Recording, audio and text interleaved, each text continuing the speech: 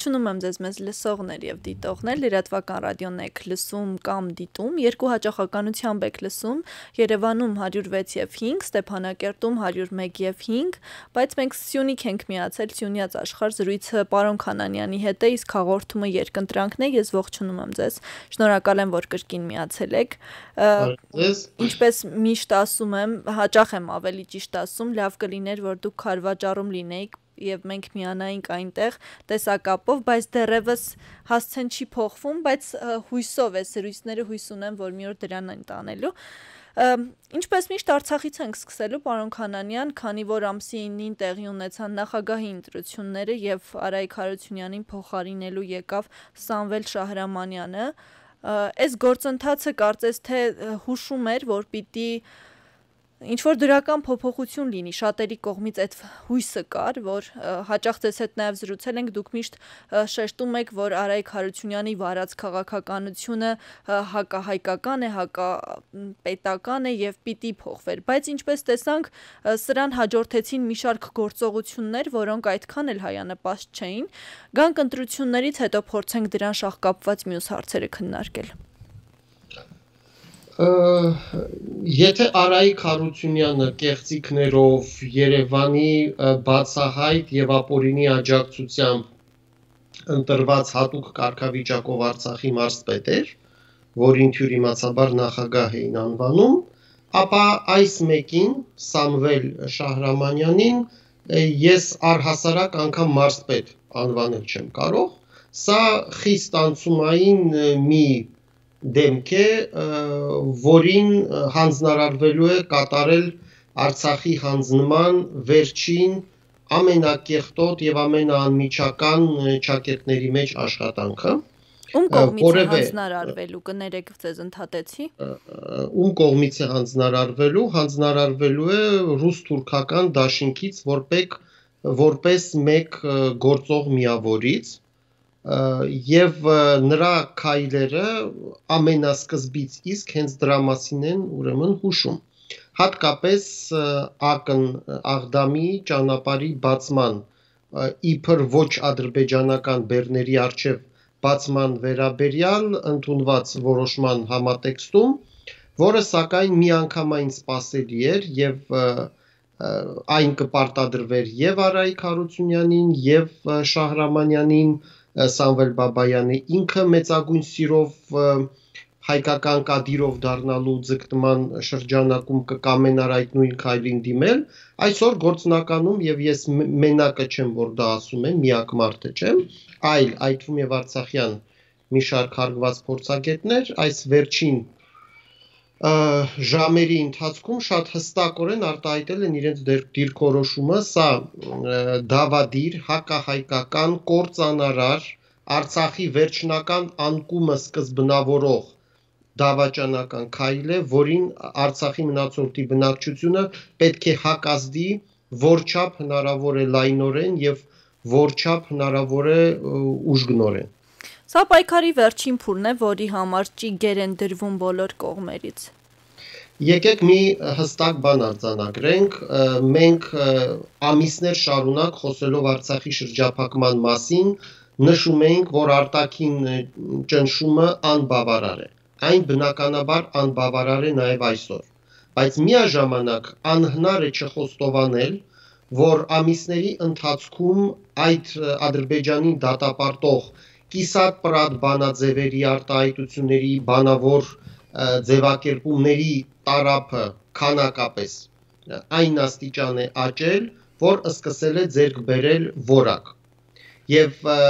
քանի որ այսօր արդեն միջազգային հատկապես շահագրգիռ 1-2 տերությունների ճնշումը Ադրբեջանի վրա անվանականից ուրեմն գործնականին անցնելու շեմին է, Ադրբեջանն ու Ռուսաստանը, որոնք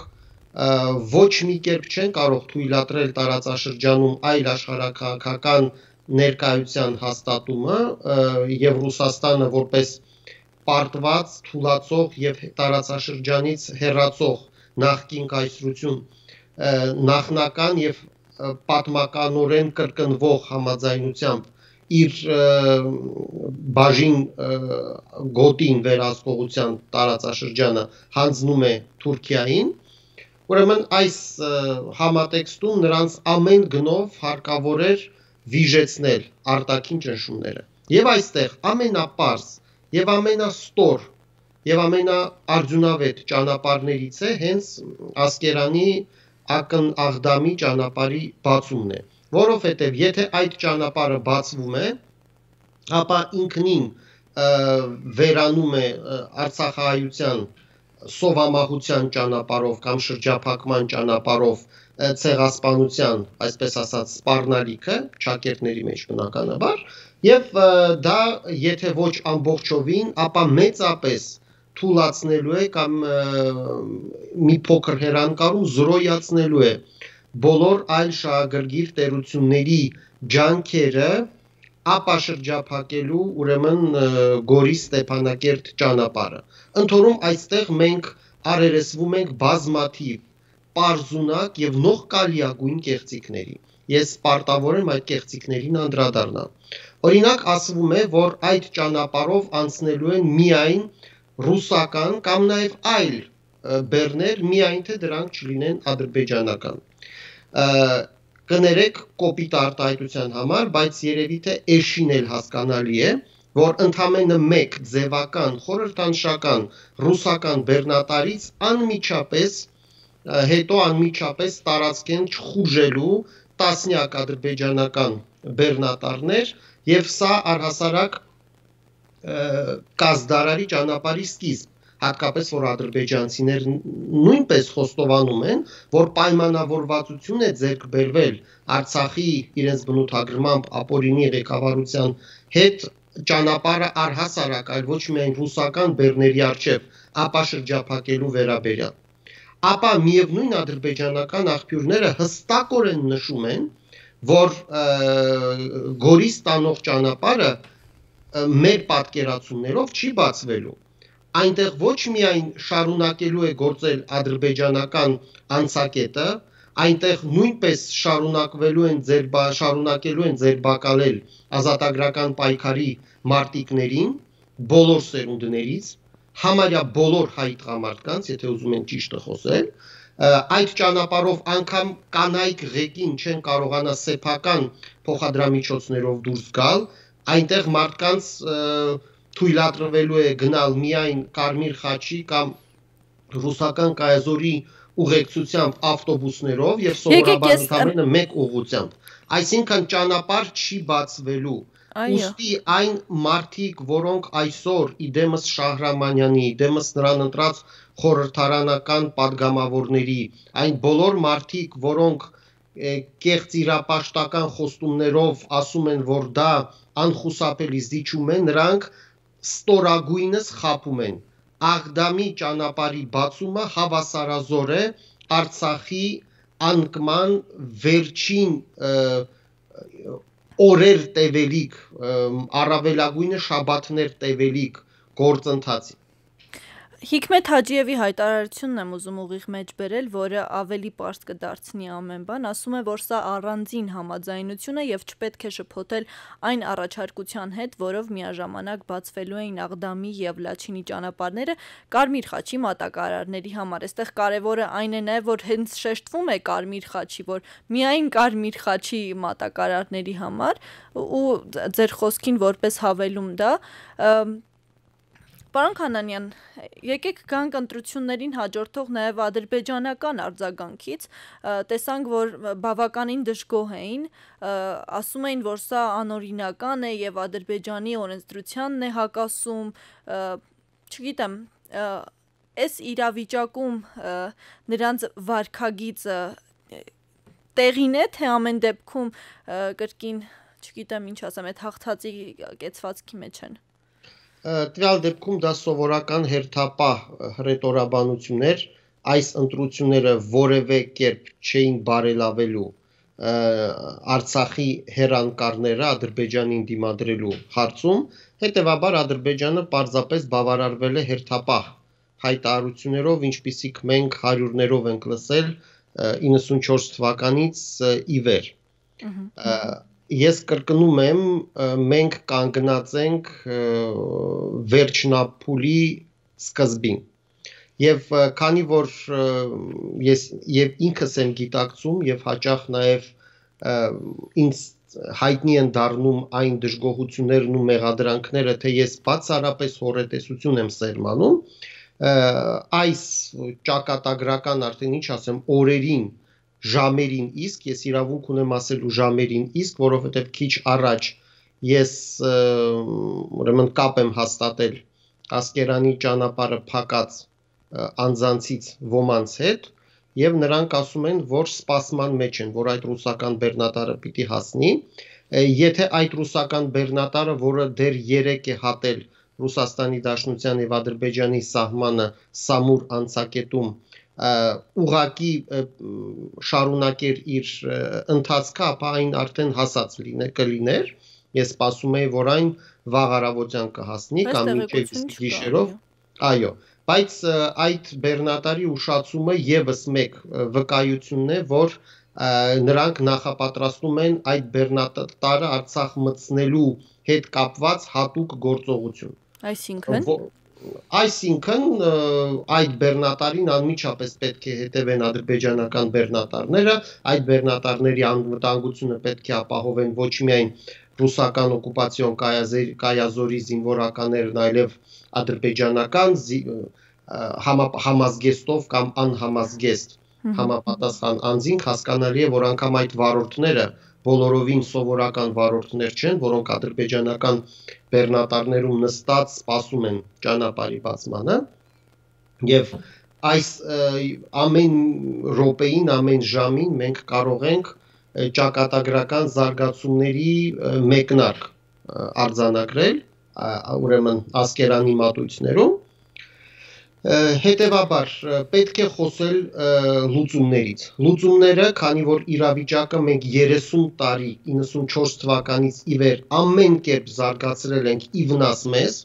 եւ կանխորոշել ենք այն իրավիճակը, որն այսօր ունենք, բայց այսօր անգամ կան դժվարագույն եւ շատ մեծ զողողությունների հետ կապված բայց հնարավորություններ կամ մեկ հնարավորություն ընդամենը այս իրավիճակը գոնե փորձել կոտրելու։ Ադրբեջանը սաստկապես եւ Ռուսաստանը նույնպես սաստկապես վախենում են քաղաքացիական զոհերից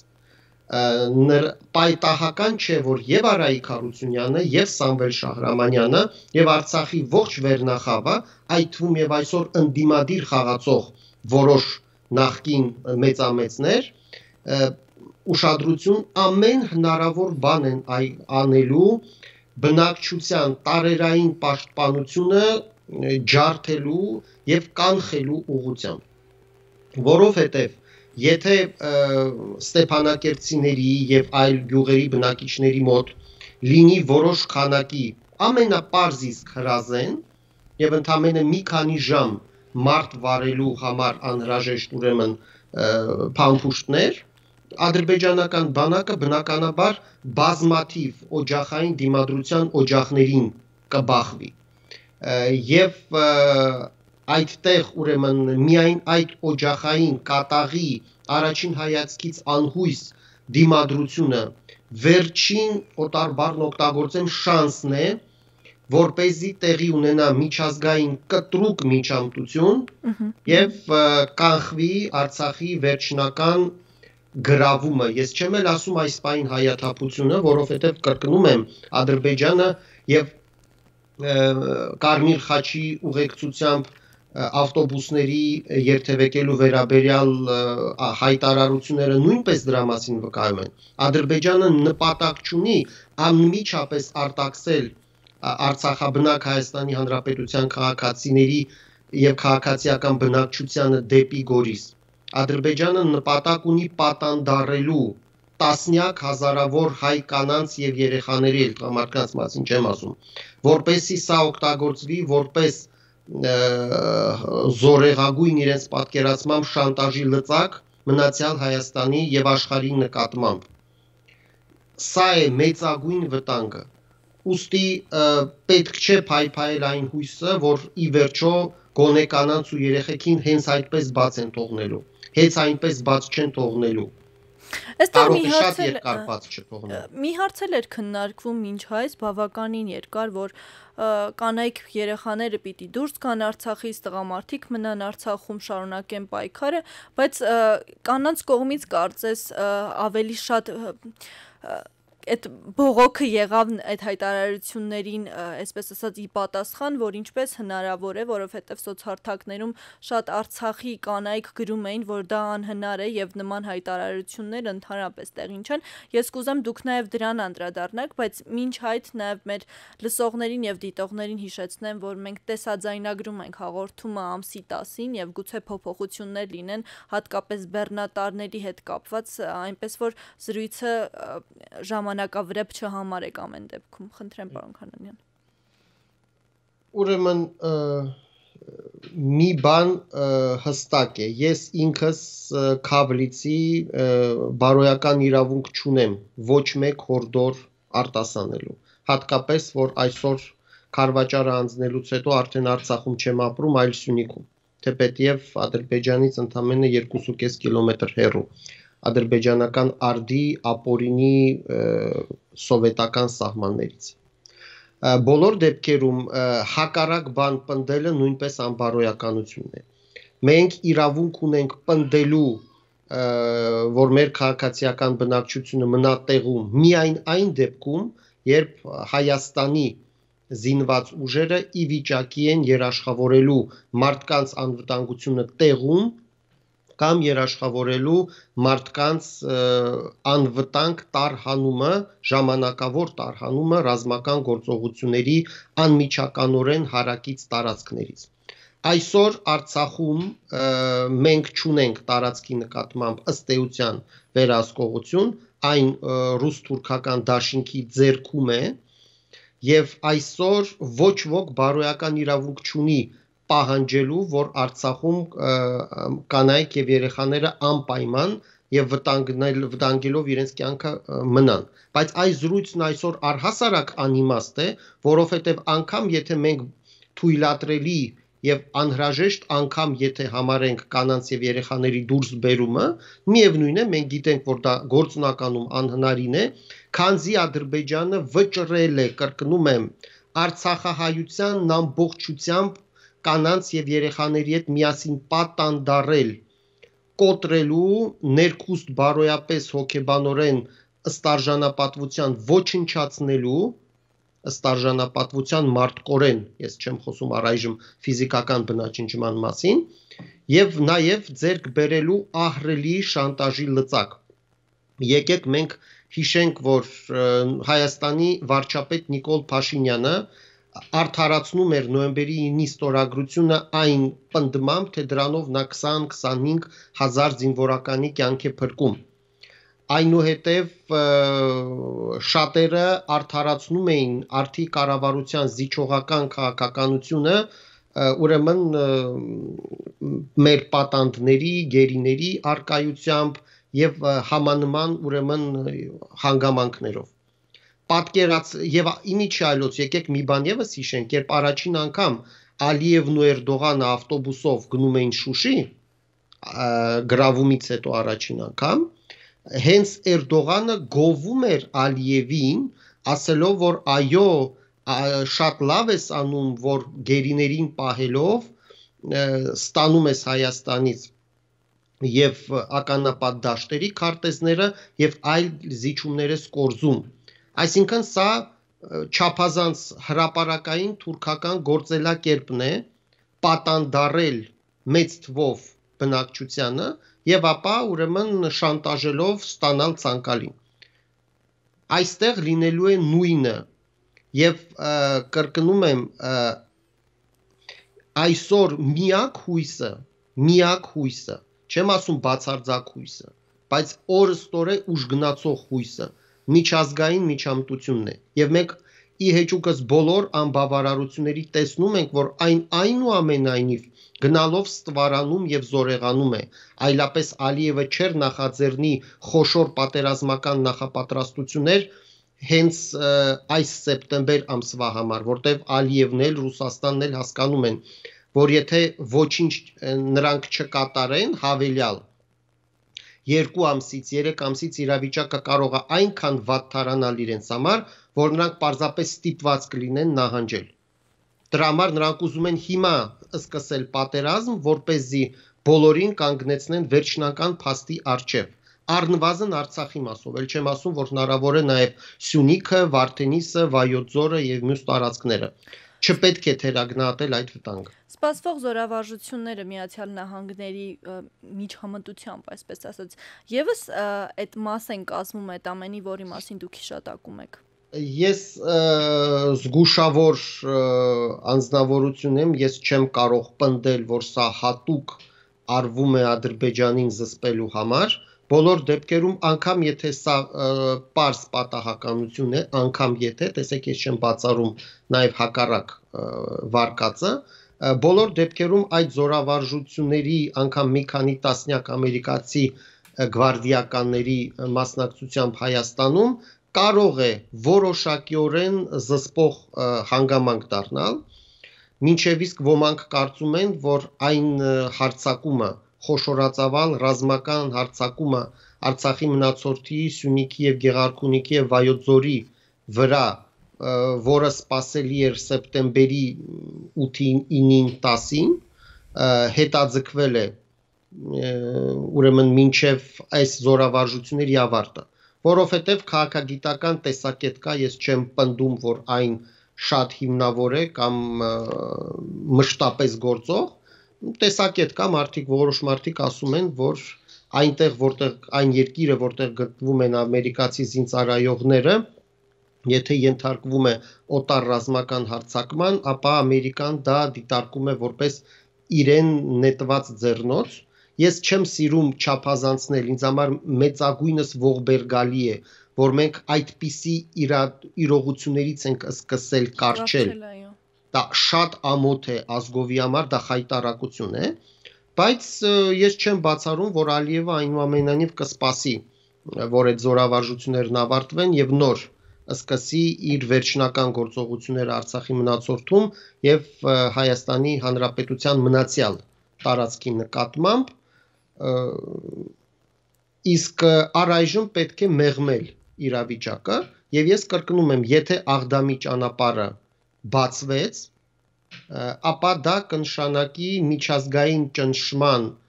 ազդեցության կտրուկ նվազում։ Սամվել Շահրամանյանը պիտի հասկանա, թե ինչ սարսափելի, ծանրագույն, հակապետական, հակազգային, պատմական պատասխանատվության տակ է մնալու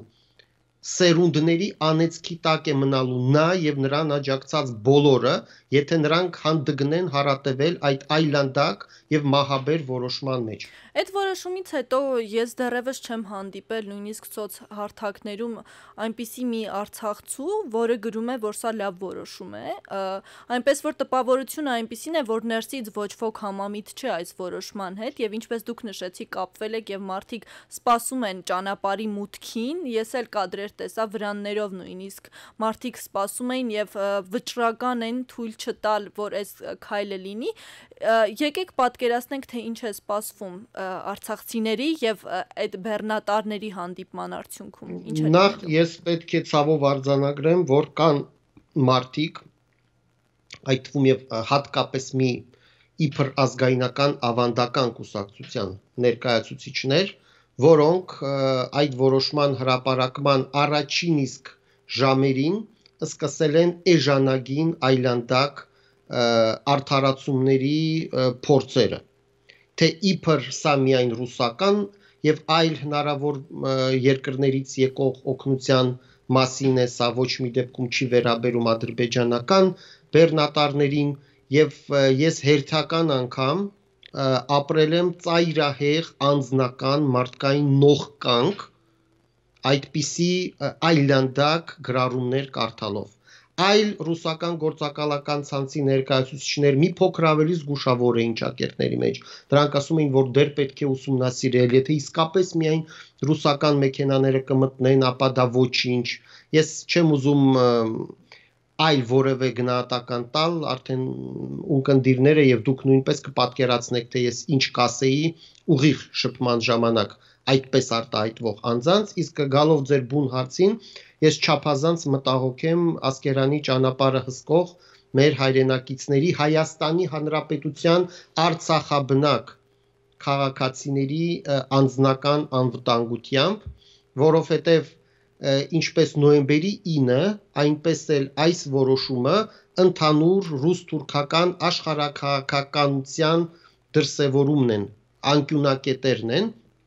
Եվ ես բոլորովին չեմ բացառում, որ հնարավոր է նրանց նկատմամբ ուժի գործադրում ռուս-թուրքական կողմից,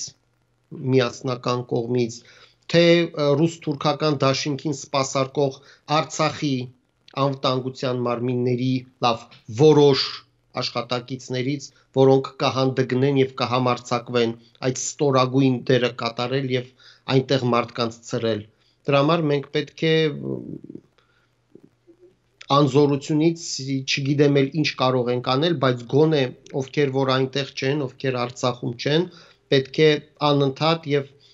առաջնահերթ լրատվական ուժգին հաճախականությամբ անընդհատ անդրադառնան տեղի ունեցողին, որ เป զի գոնե լրատվական ճնշում ֆոնը եւ ճնշումը լինի։ Սա առավելագույնը ինչ այս փուլում բոլորս կարող ենք անել եւ բնականաբար պետք է նաեւ պատրաստվենք մոտակա օրերի, թերևս 1-2 շաբաթվա հնարավոր մեծապես հնարավոր պատերազմական գործողությունների վերսկսման։ Իզեն կրկին, ինչպես միշտ իզեն հաղորդումը չէ, բայց այնպես է ստացվում, որ զրույցից հետո այդ կոչը ավելի արդիական է դառնում, այնպես որ իզեն շնորհակալ եմ ձեզ պարոն Խանանյան զրույցի համար, մեր լսողներին եւ դիտողներին, հատկապես այն մարդկանց, ովքեր Արցախում են ուժ եւ երանգ եմ ցանկանում եւ ուզում եմ հիշեցնել, որ սա երկընտրանքն էր Ալեքսանդր Խանանյանի հեղինակային հաղորդումը տաղավարում Մոնիկա Մամյանը աշխատեց, կհանդիպենք հաջորդ շաբաթ հաջողություն։ 了。